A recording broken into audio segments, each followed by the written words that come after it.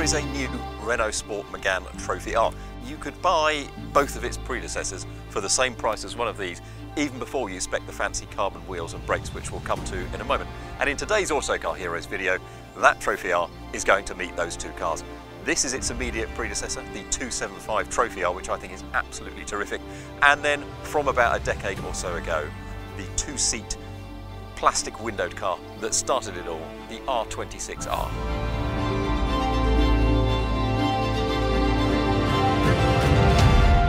So the story begins inside this, which is the Megane R26R. Now, wasn't the first hot Renault, it certainly wasn't even the first hot Megane. There was a quick version of the Megane hatchback before this one, but it was the first of the cars which have become something of an extraordinary lineage. and are defined by 8 minutes 17 seconds, which is how fast this car went around the Nürburgring at the hands of Renault's test drivers, setting a front wheel drive production car record. Now, does that matter? Does a ring time really matter? Well, no. There are great drivers' cars which would not be very quick around the Nürburgring at all. But as a measure of performance, and if you want to make a statement about your hot hatchback's measure of performance, it's as good a yardstick as any, I suppose. But what defined the R26 more than how fast it went was how it went about it. I'm sitting in a real proper race bucket seat with six point harnesses. Behind me, there is a half roll cage, there are no seats. Behind them and next to them, there are Perspex windows. This whole thing is loud because Renault managed to extract 123 kilograms worth of kit from this car. 123 kilos from a hot hatchback that wasn't that heavy in the first place. And it also set a trend that Renault continues now in that when it makes one of these lightweight, extreme hatchback, or you might call them two-seat coupe versions of its hot hatchback, it does not up the power of its car at all. So this has the same 227-ish horsepower, 2-litre turbocharged engine that the Megane R26 had. It has a 6-speed manual gearbox, it has limited slip front differential. You could get really hot uh, Proxes AAA tyres or something like that for it. But fundamentally, it was about doing more with less. And you can feel that. You can feel the alertness, you can feel the keenness. The steering's a bit lighter than you would necessarily expect by uh, all of today's standards, but it's really accurate. It's got a quite a thin rim to the steering wheel. As cars have adopted electric power steering, the steering tends to get quicker these days than it than it used to be. But this is just so accurate, so precise, so smooth that it is really terrific. And you get that terrific noise from the exhaust, and because there's no sound deadening, it's just a thoroughly engaging and entertaining and intoxicating way of doing things. Weirdly, not everybody thought so at the time.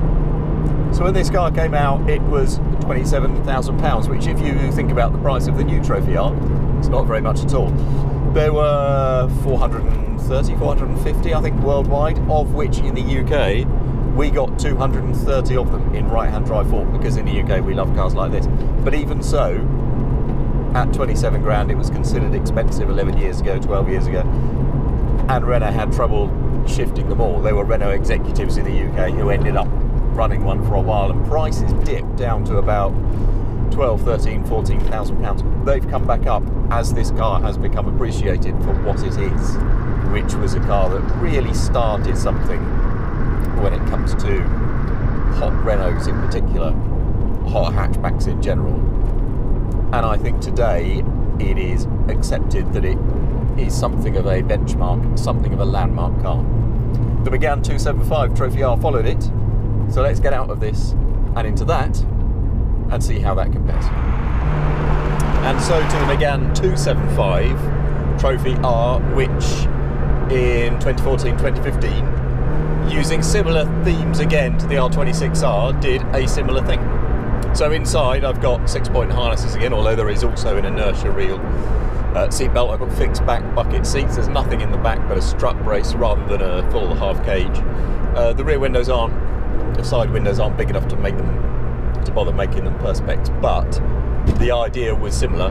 Do more with less, so there's a bit less weight. There is no more power, and this car set a new Nurburgring lap time of around 7:54. So it took a good 20 seconds out of the R26R. If anything, it's even louder than the R26R. No idea if you can hear me. Barely hear myself.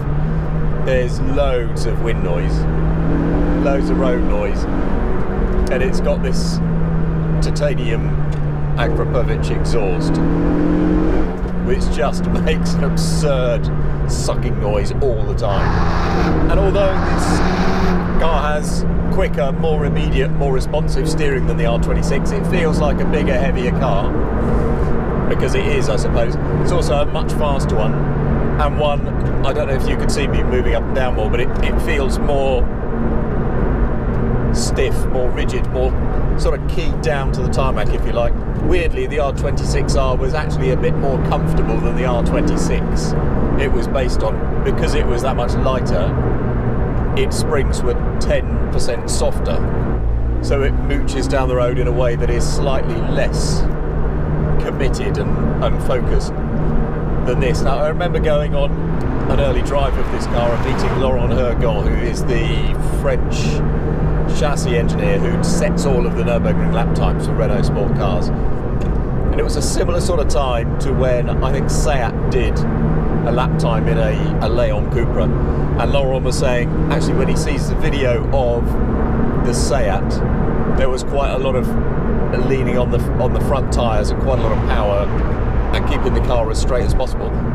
The Renault, and this is what I think a lot of key drivers really like about it, is that it was about carrying cornering speed. When you turn, it en- engages the rear in the cornering process. All four wheels are cornering, and you can just maintain more mid-corner speed. You turn in, it lifts, it corners with all four wheels,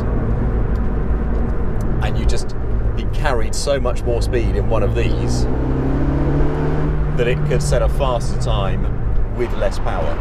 And no, the Nürburgring is not relevant to how people drive most of the time, but the agility that lets this car go quickly there is evident in the road. If anything, it makes it a little bit too stiff for the road. What a surprise, racetrack makes road cars too stiff. So from that point of view, I think I would rather be in an R26R on the road, albeit a slower car on track. But what's common to both is that I think they have as much in common with something like a Porsche 911 GT3 as they do with a hot hatchback. I mean, arguably more in common with that in that they feel stripped out and track ready. They feel more to me like a GT3 than they do, say, a Focus RS. So by the time this car went on sale, its price had risen to 35,000, which again, quite a lot for a hatchback. We'll come to that theme again in a short amount of time. Today they cost the same amount of money as uh, an R26R. I think you can get one for sort of mid, mid to high £20,000 in the UK. Given a choice between the two, if I spent a lot of time on track, maybe I'd be in one of these. If I spent more time on the road, I'd quite like an R26R. But let's have a go in the latest Trophy R see if it picks up where these left off. One theme I do know about, the increasing pricing structure is intact. And so then to today's Trophy R, which in essence continues some familiar themes. So it is stripped out, it is a full 130 kilograms lighter than the regular Megane RS. There are no rear seats, there is a strut brace back there but immediately, for all the familiarity, it does feel a little bit different to the other two cars. The steering is even more immediate, even quicker, even more precise. And I think that might be just as a result of body rigidity, body stiffness getting better and better as time goes on. And as car manufacturers introduce and tweak and refine electrically assisted steering systems, that means that for all cars getting bigger and heavier. This car doesn't feel any wider than the 275 Trophy R. It does feel bigger than the R26R. But for all that cars are getting a little bit bigger and a little bit heavier, the fact that steering systems are more responsive and quicker than ever means that the agility goes up yet again. And it's that agility and the chassis performance of this car, there are adjustable Öhlins dampers all round. That brings that Nürburgring lap time down again. So this sets a record at like 7 minutes 41. So we've gone down from low 8 to just under 8 to 740. I mean, it, it's it's an astonishing difference of. I mean, when you look at it in percentage terms, it's not very much, but it's 30 seconds over a lap. What's interesting to me is not that that time was set at the Nürburgring. What's interesting is it is just a yardstick measure of performance and an idea of how much quicker cars can become when they're doing roughly the same thing. So to an extent, it picks up where the other Meganes left off. It gets no more power than standard, so it has 300 horsepower, 296 brake horsepower, old school fans, two seats inside, a titanium exhaust, six-speed manual gearbox, limited slip differential. The idea is that it does more with less. So of the 130 kilograms that have come out of this car, nearly 40 kilograms of that is because it no longer has the active rear steer system that the standard Renault Sport gets, and which makes the standard Renault Sport Megane a little bit unpredictable in the way it corners. This is much more responsive, much more linearly responsive. You know when you put in a certain steering input what you're going to get back. But it also maintains the ability to do the thing that the previous Renault Trophy R and R26R did, which is they just carry loads of cornering speed. So it's massively capable, like they are, more round corners than it is in a straight line. They are birds of a feather when it comes to how similar in ethos they feel. They are like each other, and more than other hot hatchbacks, they are like GT Porsches, for example. They feel stripped out and race ready and race raw. Not race cars, but that's kind of how they feel.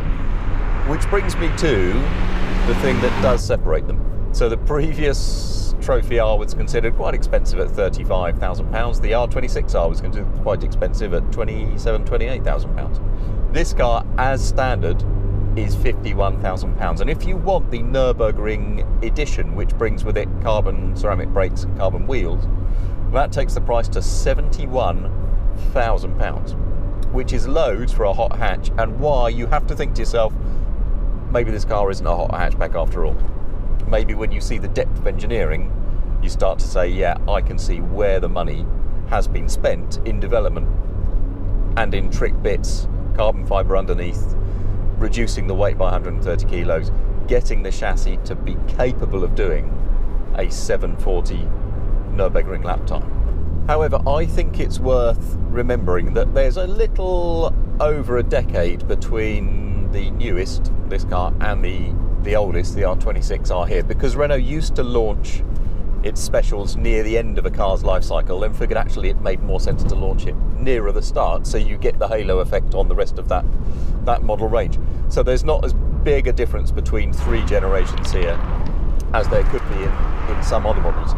And in that time, you're looking at a standard price that has almost doubled, or with the Nürburgring special bits, although there aren't many of them, I grant you, trebled, and the performance has increased by about 6%. I think going back to the R26R would be the way forward. I really like this generation Trophy R. I think it's a terrific driver's car. I think it's the best front wheel drive driver's car of the moment.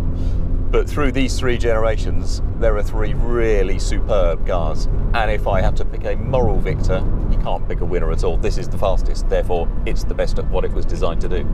But if I was to pick a moral victor, I think it would be the original R26R. Thanks for watching this Autocar Heroes video. You'll find us here at least every week, also at autocar.co.uk and in all good newsagents.